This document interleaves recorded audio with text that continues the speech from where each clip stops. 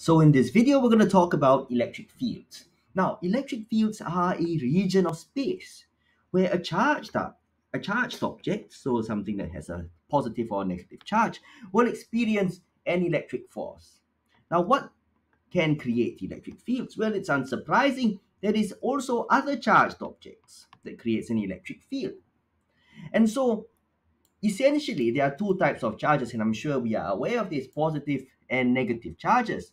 So positive charges creates an electric field that goes radially outwards from it, whereas negative charges create electric fields that go radially inwards towards it. And so let's understand the basic, or let's revise the basic concepts of field theory. So first of all, the density of the lines is indicative of the field strength. So for example, if I took a, a little portion over here, the lines are generally closer to each other than if I were to look, let's say over here. And so I expect the field strength to be, of course, stronger in this region compared to the other region. And uh, the other rule that is uh, very important is that the lines cannot cross. Okay, remember that it is not possible for your field lines to do something like that. Ah, this is not going to happen. Never. So what else do we need to know about electric field lines?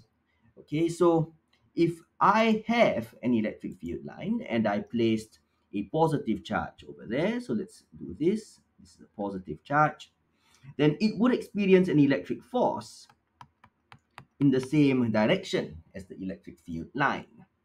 Okay? Whereas if I were to place a negative charge in some point, the electric force will be opposite to the direction of the electric field line.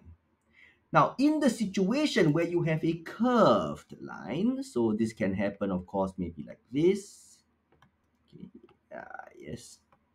Then if I were to place a positive or a negative charge somewhere, so for, in this case, let's do a negative charge because they're slightly more complicated, right? The direction of the electric force will be opposite to that of the field line. And if it's a curve, that will be tangent to the curve and so the force goes like this. Okay and just one more example. So if I placed a positive charge over here it would then go tangent again like that